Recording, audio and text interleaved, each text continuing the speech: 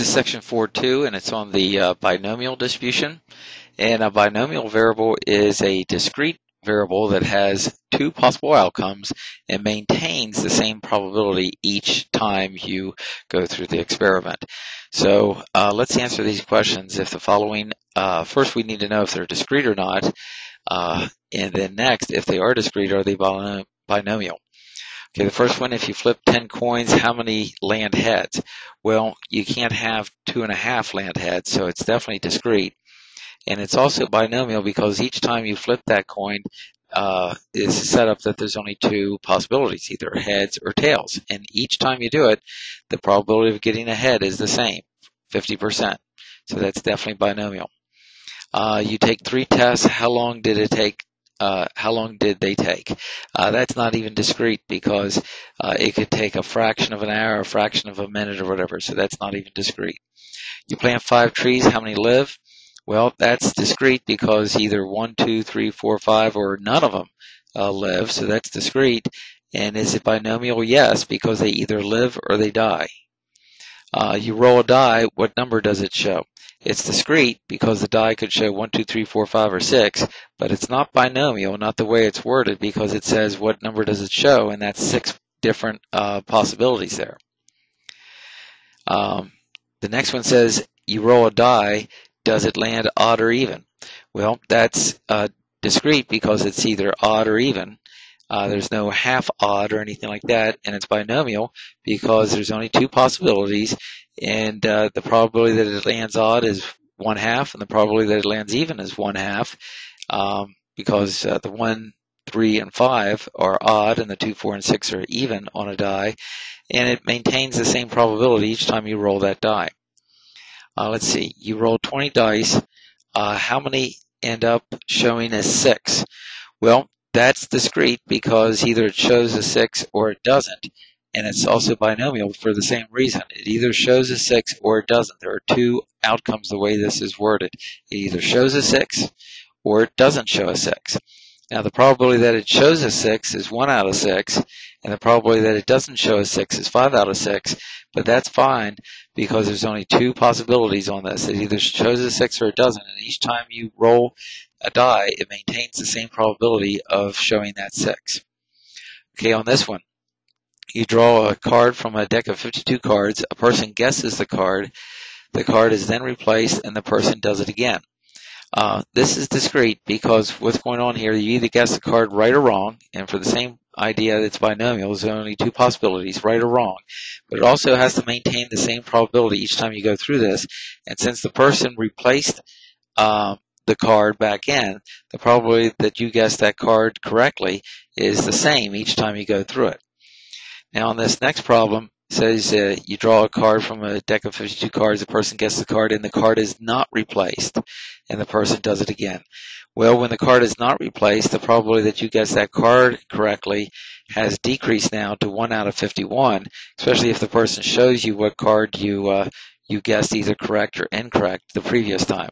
So the first time that you guess the card, your chances of guessing it right is one out is uh, one out of 52, but the next time your probability of guessing it correctly is 1 out of 51. So that would not be binomial. Okay, once you um, see a problem and you identify it as being binomial or not, you need to label the n, x, y, p, and q. A lot of books just say the n, the x, p, and q, but uh, we're doing X and Y because we're breaking it up into the lower number of successes and the upper number of successes for X and Y. Now, if it just says the probability that, let's say you flip 10 coins and what's the probability that five land heads, then that means exactly five, so both the X and the Y would be five. Let's go ahead and do one here. It says uh, these can be done on the binomial sheet. And we'll go to that here in a second. You flip 10 coins, what is the probability that 5 end up heads? Well, it's not 5 out of 10 because think of it this way. If you thought that the probability of getting 5 heads on 10 coins was 5 out of 10, then I guess you think that the probability of getting 10 heads on 10 coins would be 10 out of 10 or 100%. So you know that's definitely not right. Um, now on this, you're, you, how many trials do you have? How many times are you going to do this? Well, you're going to flip this coin 10 times, okay? Or you can say you flip uh, 10 coins. Either way, the n is 10. Now, how many successes are you looking for? Five. So both the lower and the upper number of successes is five. So both the x and y is five. And then p is the probability of a success, of a success, just a success. We don't need to put down here for p what the probability of getting five heads on 10 coins is. We're just putting down what's the probability of getting a head on a coin, and that would be 0.5. Now you actually don't need Q uh, when you put this into Excel, but Q is equal to 1 minus P, 1 minus the probability of a success, which in this problem would be also 0.5. So you just go to your binomial sheet, which I'm on, you put in your number of trials right here, 10, lower number of successes 5, upper number of successes 5, and the probability of a, of a success, which is 0.5. And there's your probability right there, 0.246. Uh, so about a 24.6% chance that if you flip 10 coins, 5 are going to land heads. It also tells you the expected number of heads right here. That's actually calculated by just doing n times p. Even if I had these gone, the x and the y, it still gives me the expected value or uh, the mean, the average number of heads. Uh, now in our problem, we had uh, five in both of those, but it also gives you the standard deviation. Uh, the expected value uh, is just n times p is all you do to get that. 10 times 0.5 is 5. To get the uh, variance, let's go to that next, you take n times p times q. 10 times 0.5 is 5. If p is 0.5, q is 0.5, so that's be 10 times 0.5 times 0.5, which is 2.5, and the standard deviation is the square root of your variance, which would give you 1.58. And then here uh, to the right of the binomial distribution is a graph that shows the probability of each thing. Like here's the probability of zero heads, one head, two heads, three heads, four heads, five heads. You see five heads has the highest probability of occurring here, almost a 25% chance. So let's go ahead and go on to uh, the next problem. This next problem says, what is the probability that at least five out of the 10 coins end up heads. Well, if you're saying at least five, that means five or more. So the lower number of successes is five and the upper number of successes is 10. And there's your probability right there. Uh, on the next one, it says you flip uh, 10 coins. What is the probability to, that you uh, that at most three end up heads. Well, at most three means three or less, so that would be clear down to zero, and as high as 3. And that would be your probability right there of that occurring, 0.17188. Now, if it says less than 3, make sure that the higher number that you put in is 2. Okay, so, or if it says greater than 5, make sure you say 6 to 10. So that it's specific, it matters. Um, if it means says greater than or equal to 5, then 5 is in there. If it says greater than 5, you'd have to go to 6. And then finally, the toughest one here uh, says three out of four dentists recommend Trident to the patients that chew gum. From a sample of 50 dentists, what's the probability that at least 60% of them will recommend Trident to the patients that chew gum? Well, we've got a sample of 50.